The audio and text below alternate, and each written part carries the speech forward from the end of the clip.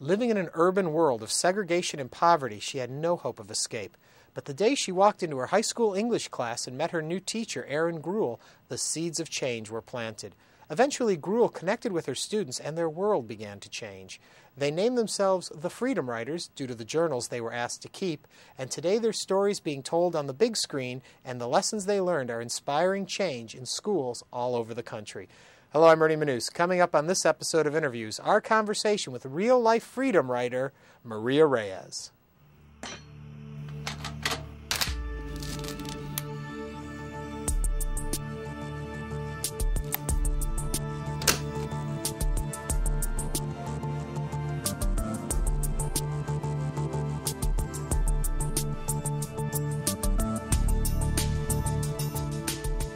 Why do you still have hope that things will work out between the races? Uh, I think we have to have it, I, I, or else I don't see a reason why to get up in the morning. I, I, I think that uh, with with writing about what happened uh, in L.A. after the Rodney King riots and, and O.J. Simpson, um, I think I, it truly made me believe that when you write something down, it opens this uh, this place of dialogue of understanding. And I think that as long as people uh, want to talk about it and don't think that it's this taboo subject that nobody wants to talk about, um, I think that we will come to an understanding that. Uh, that maybe separate is not always equal like we learned before, and that uh, learning from one another is probably the best way to truly understand that we have uh, what bonds us together is so much greater than what uh, tears us apart. But throughout history, anthropologically speaking, socially speaking, groups have always tended to go together, to separate, and always seem to be warring against others, those that are different. Why would that ever change? I mean, is there something to be said about separate and living your own life? Why do we need to be together? Uh, sure, I think uh, it's because it's a comfort zone. Uh, it happened, you know, in uh, in at Wilson High School. Uh, th- there was it was so diverse, but somehow we found people that looked like us, and those are people that we felt comfortable. Um, I think what happened in uh, Ms. G's classroom, in classroom room 203, was the fact that we were able to see beyond the color of our skin. We were able to see beyond cultural background or economic status or even religious beliefs. That that um, I think that there's a there's a there's a common bond, a common understanding. And I think uh, the common denominator between all of us is human experience. And if you just understand that human experience on, in everybody's life, uh, you'll be able to understand that you could be with your own uh, in that other corner. But it's so much greater when uh, when you actually join somebody else in a conversation because you have a great understanding of yourself. And I think uh, that that's the beautiful thing that happened with all of us in room 203 was the fact that I was able to figure out things about my own life that made sense through the experiences of all these different people. I didn't have one teacher. I had 149 uh, teachers every day that taught me something about myself through their own experiences, and we were all different. Take me all the way back, though, because I think people would be, those that probably watch our show, the audience that we address through public television, is probably cut off in a lot of ways from the harsh reality of what you went through mm-hmm. in urban, in the urban setting that you grew up in. Explain a little bit what that was like. Uh, you know, I think for, for most young people in urban America, um, whether you get jumped into a gang at the age of 11 uh, or you get jumped into a gang later in life, or even if you're not even part of a gang, the fact that you live in a poor neighborhood, um, whether it's a hood, whether it's a barrio, whether it's a, a, a ghetto, whatever you want to call it, it's the same thing. Whatever label you want to put on it, it's the same thing. And, and you don't have to be part of a gang to, to, uh, to get sucked into it, to believe that sometimes fighting back is the only way. Um, I don't think you have to be part of a gang to uh, to feel like you're the only one that's going through that certain experience, and most importantly, uh, that you don't have to be in a gang to feel like you need to belong to something. And I think uh, young people nowadays, um, just like it was in 1994, they have this desire to to to feel part of something because nothing is grabbing them. Nothing is grabbing them to say you are here and you are important. And I think, uh, unfortunately, gangs do that for a lot of young people, not just Latinos, not just blacks, but as you see, um, as we saw in California in the mid 90s uh, was the Cambodian gang. There was a rise because even though they had uh, had this uh, horrible tragedy in their own country, most of them, their parents were refugees um, in, in Long Beach. Nobody passed that down, that history of genocide and what happens when you don't understand your history. And they all started uh, wanting to have that that feeling of belonging. Uh, and I think uh, uh, in LA especially, there's gangs that have been first, second, third generation. And for a lot of young kids, they feel like they don't have another choice. This is what I have to do because they don't see beyond their own neighborhood. What would, what's your remembrance of the Rodney King and of the O.J. Simpson verdict? How did that affect the community you were living in? Well, you know, if, if, if you live in LA, uh, there there's there has always been this horrible history with the with LAPD, unfortunately. Um, and you could go all the way back from the Zoot Suit riots, uh, and especially in East LA, there's always been this uh, hostility uh, against LAPD because you hear stories as a young kid, uh, uh, whether it was your grandparents or the neighbor or even your parents, talking about how the police used to come and used to harass, you know, all these Mexicans because of the way they looked or, or or uh, where they were hanging out, and just because they could. And I think uh, when you experience that yourself, you're like, yeah, that, that was right. What my grandmother said was right. What that my neighbor said was right. That they do just come and harass us. So there's always been this struggle between the you know the law and the laws of the streets and which one you follow. And uh, I think that the the Rodney King riots was just a justification for everything else. The fact is that nobody was shocked that a black guy was getting beat down by LAPD. We saw it all the time time, whether it was a black guy or a Mexican guy, whatever, a brown or black, whatever it was. What was shocking to all of us was the fact that it was actually a national television, and people uh, people were like, "Oh, does that really happen?" Well, that's what everybody was saying, and uh, in rap music, uh, people were talking about it, in uh, you know, in the evening news. It's just that nobody was really paying attention. Uh, and I think uh, uh, I, I, always tell people that uh, th- that that scene of him getting beat up played over and over and over and over again. And for people like uh, my grandparents or my parents, it just kept a, a reminder that it wasn't even about um, Rodney King. It was the times that they got harassed. It was the time that they got arrested for something that they didn't do. So, what did your parents say to you when these images were being shown? Well, it, it was a, uh, it, I think it was uh, something that you know. Oh, yeah, you know, that's what happens. You know, see, now they're gonna see, they're gonna see that that's what happens. So there was, in a sense, there was this like, oh, now they're gonna see. Now they're gonna see what we go through. Now they're gonna see that we do get profiled because of the way we look and, and what neighborhood we're from uh, or how we dress. Everybody's gonna see now.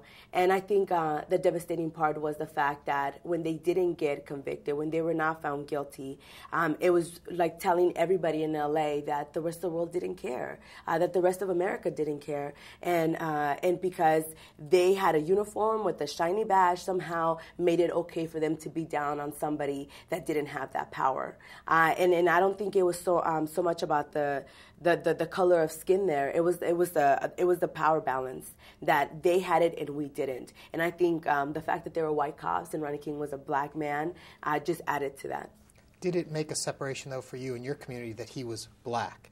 Absolutely not, which is which is oh incredibly interesting because uh, we didn't even see that. We saw that he was what happened was showing what happens all the time, uh, and like I said, whether it was a brown guy, a brown man, or a black man, um, we were finally somehow relieved that people were going to see it. So then, why didn't this bring the brown and the black communities together? Why didn't this bring all of the minorities, the Asians, all together, saying, "Look, at we all have this same problem"? Why then the splinterization? Because I think uh, there's there's this struggle um, in LA, and I've seen it in, in a lot of communities, not not just in California, where uh, there, there's like, well, we have it the worst. You know, we're the real minority, and I think in LA, there's there's like, well, you know, we struggle more, uh, we get profiled more. Well, we don't get, you know, those other jobs, uh, and and I think uh, instead of understanding that we're struggling together, everybody's trying to up the other one. Well, this is what they did to me. Well, this is what they do to me when I catch the bus or, you know, I get arrested or whatever. So there's this comparison of who has it the worst because somehow when you have it the worst, it gives you a, a right to complain. It gives you a right to go down and, you know, go, go burn a building or uh, whatever it is or, or hit a cop. It gives you a justification for, uh, for not, uh, creating or somehow uh, entertaining that you could make the right choice and you could do something different. And, and I think uh, that once people start understanding that we're fighting the same struggle, we are fighting the same fight, and uh, and finally, I think when people truly understand that is when we're going to start changing it. Instead of saying, "Well, who did it?" Uh, you know, people are like, "Well, MLK was a black guy." Everybody tries to claim it. It's the same thing. You know, who are the greatest leaders? Let's try to claim them. I, I and, and it happens in my own in my own community, my own culture. When when a when a Latino does something special, we want to be the first ones to claim it. The yeah. same thing I think happens with the struggle, uh, and uh, there's this sense of, of feeling like you're part of something else, and whether it's a bad thing or a good thing, you just want to be part of it. What was your home like life like that led to you getting into a gang at 11? Is it can we look back and say broken home, parents didn't care, and that's why you looked for gang support, or what? I think I think in, in my case, and, and, a lot of people actually during that time, uh, it wasn't so much that we didn't have uh, caring parents. I, I, tell young people all the time, including uh, adults sometimes, that don't understand why, and not just my parents, but freedom writer parents in general. Why didn't they fight for you guys to have better schools and better teachers? And, and I always tell people, I had a wonderful home. Uh, my parents were hardworking, uh, and uh, they they I was loved. I, I felt love every day. my my mother told me I was beautiful every every day. I never I never grew up with uh, with the complexity of of oh man, I wish I was something else or I wish I was taller or I wish I was thinner or, or thicker and nothing like that. And I think. Um, the, the only trouble, the only problem in my home was the fact that there was this sense of um, of the the the absence of American dream because it didn't happen for my grandparents. Um, it didn't happen to, to, to, my parents. So why are they going to pass down this broken American dream to their child? Because you're preparing them to be disappointed.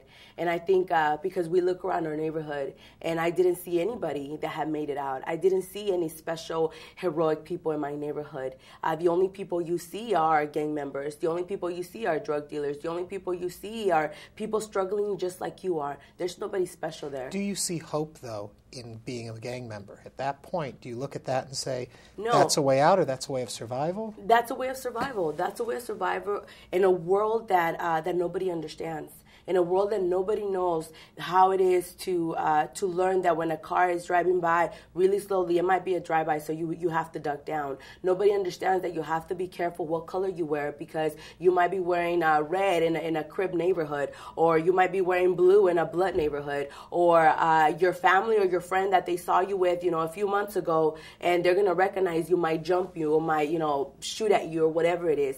Uh, young people uh, are so savvy because they have to figure that out by the age of 11, by the age of 10. This is going on in elementary schools and middle schools, not just in high schools. And uh, I think uh, you get the sense that uh, you are the only one and you have to do whatever you do to survive in that world. You're not sure why you're surviving it, but that's what everybody else is doing. So at 11, you become a member of a gang? Uh, yeah, uh, because I thought there was no other choice. There was no, I didn't, like I said, you don't see any examples of anybody else doing anything different. You don't see it on TV. You don't see it in the big screen. You don't see it in your, in your neighborhood. You don't see it in your parents or your grandparents. So where are we supposed to get this example of, of making it out, of fighting the good fight somehow and it's going to pay off at the end? I saw my mother working hard every day of her life and never got, uh, never had anything to show for it. I, I, saw my father struggle every day and never had anything to show for it. So I think uh, growing up, up, I, I didn't understand this sense of hard work. I didn't understand the sense of, oh, I'm going to go uh, and go get an education. And somehow that's going to change things for me. Do your parents, though, at this point, see what's going on and how do they react? How do they get involved or don't?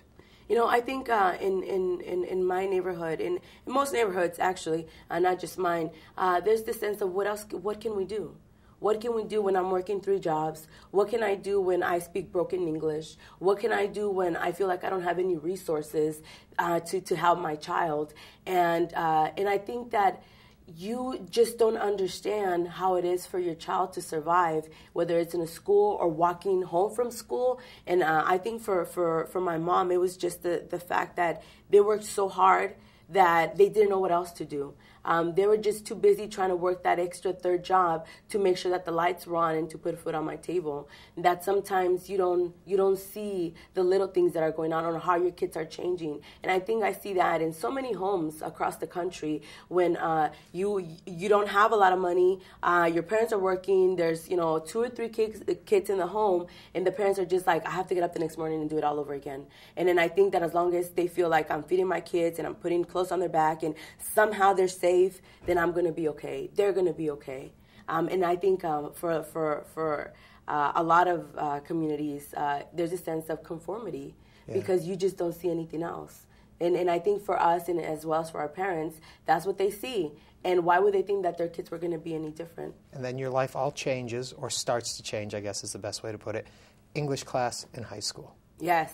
1994, 14 years old. Uh, I, I, I tell young people all the time when I, when I have the opportunity to share my story, the Freedom Writer story, really. I'm just one person, uh, and there's 150 of us. I, I, represent 149 other people, and uh, I truly believe that our story wouldn't be as beautiful or as powerful if it wasn't because all, this, all of these different stories came together to share one story. Uh, because our story together means so much more. It gave meaning to all of our lives. Uh, and I think uh, when I entered Ms. Gruwell's classroom in 1994, I was so angry. I was so angry because I, at a very young age, I think something was taken away from me. That that um, that belief that you have as a young child that you could do anything. I was compared to. Uh, to having that uh, that feeling that Santa Claus somehow is going to come on, on you know December 25th and somehow a present shows up you know under the tree and you believe that and nobody could tell you anything different and I think uh, for a lot of us, uh, when we see uh, the ugly side of the world, the ugly side of life at such an early age,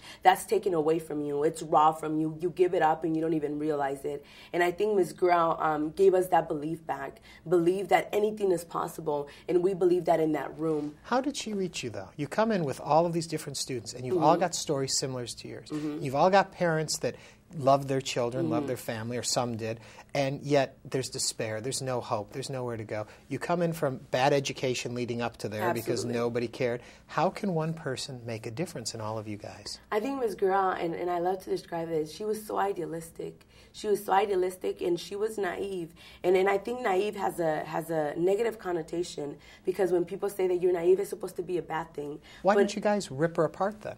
Why? Um, How did she? Oh, we did. We did. Believe me, we did. And we try to break her every day because for a lot of us, we we saw that you know, oh, here again comes the Great White Hope trying to save those ghetto kids. We saw it on TV before. There was there was movies about it. Uh, so we knew that feeling. We knew that a white person would come to the ghetto and would try to reach out and help you for that one hour for that community service and make them feel good about themselves. And as soon as as as quickly as they walked into the, into your world, they will walk out. So we knew that sooner or later she was going to get it. She was going to get it that we were not the kids that were like, ooh, I know the answer, you know, waiting to blurt it out and turn in our homework early to get extra credit. We were not those kids. We were not the status quo students uh, because we, we were below average. We scored below average on a test, and, uh, and our schools believe in tracking kids at a very young age, and that's why we ended up in our classroom. And we knew without a doubt that she was going to be just like every other white person, just like every other white teacher that was like, you know what, I better go across the hall with the distinguished scholars and with those honor students,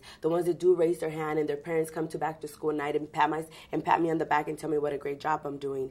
So the fact that um, every day we would walk into room 203 and she was standing there with a smile, you know, from ear to ear, um, just waiting to teach you. She was so hungry for that. She was so hungry to to pass that passion, that love for literature that she had. And I think um, her father, uh, Papa G, as we uh, very caringly uh, dubbed him with that name because we called her Miss G. He was Papa G. I think uh, the fact that he instilled in her uh, this this sense of anything is possible, and if you believe in, in something, it's gonna it's gonna become a reality, and if you work hard, it's it's gonna come true. And I think uh, because she believed in her father's words, that's why she never gave up. She never gave up on the fact that the first day of school, she thought she had the most 150 most intelligent students and that she had 150 uh, students that were going to graduate from high school and go on to college and do great things. And she never wavered from that belief. Do you remember, can you share with us personally the moment it clicked for you and you decided to give her a chance? What led to that for you?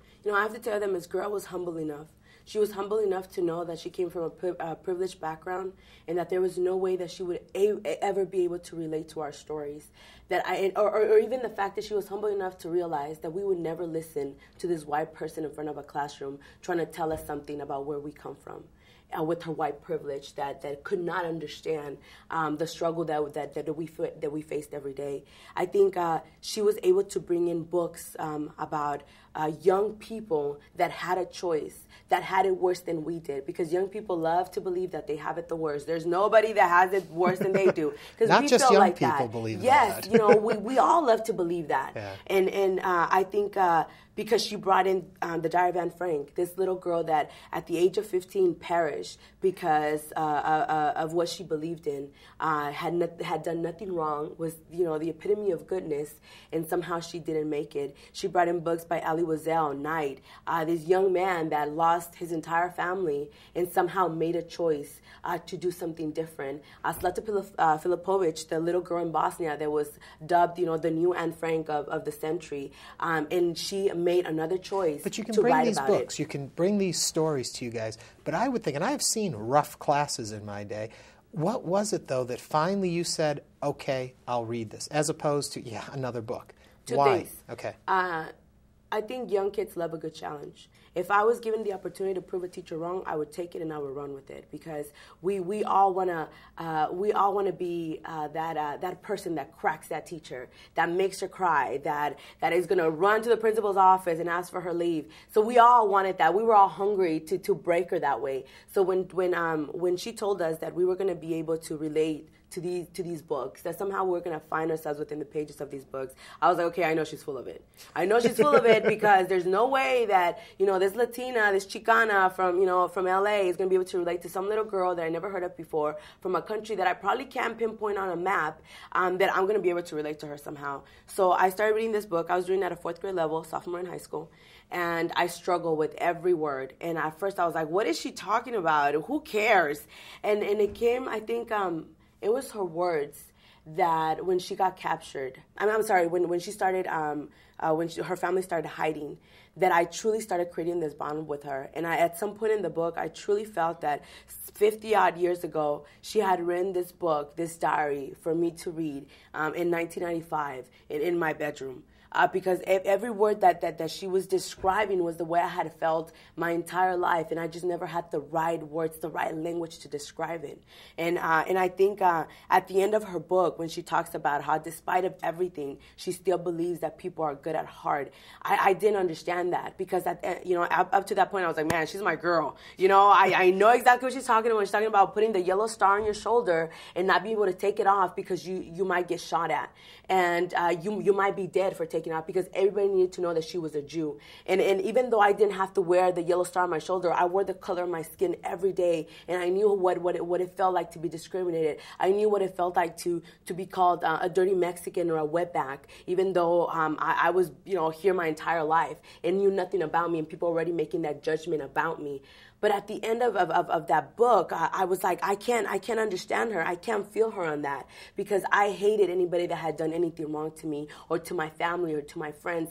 And I didn't know uh, how to forgive. And because Ms. Gruwell taught me how to critically think, I was able to understand that that's what she was referring to. She was referring to forgiveness.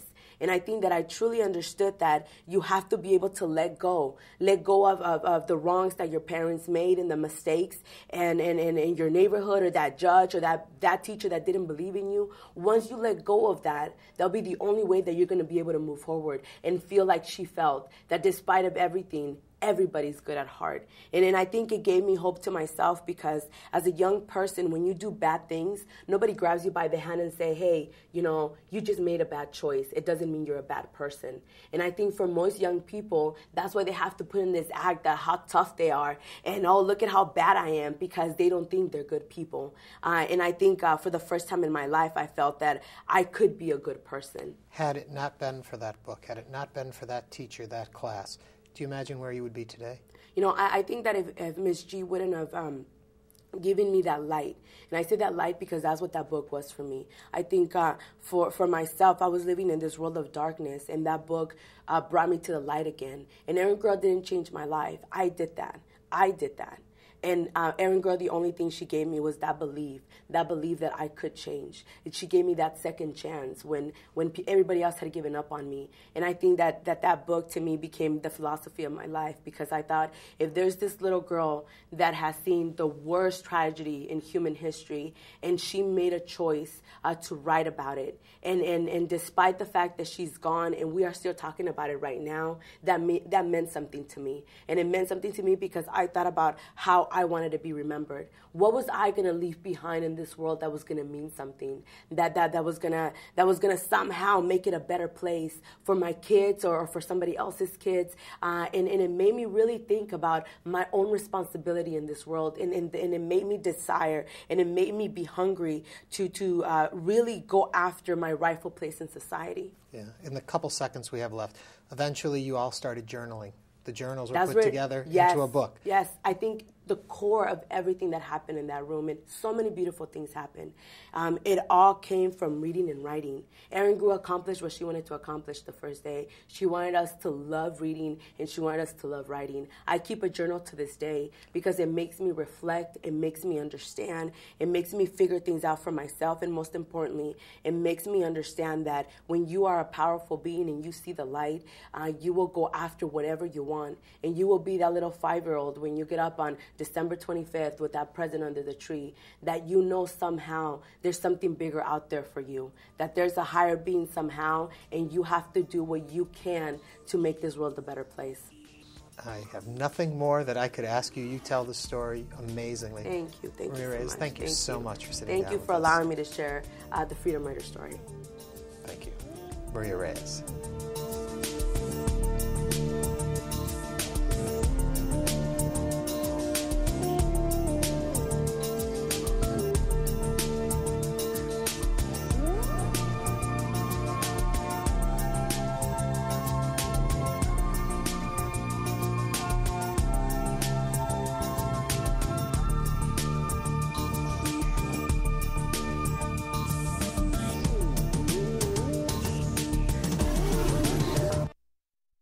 Transcript, call 866 652 3378 or send 695 to the address on your screen. Please include the name of the guest.